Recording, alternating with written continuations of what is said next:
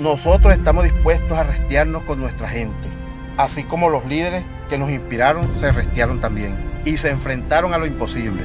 Y entonces nosotros juntos, organizándonos, cada día que avanzamos estamos creando esa conciencia, con la entrega, con la disciplina, con la responsabilidad y corresponsabilidad que tiene también nuestro pueblo.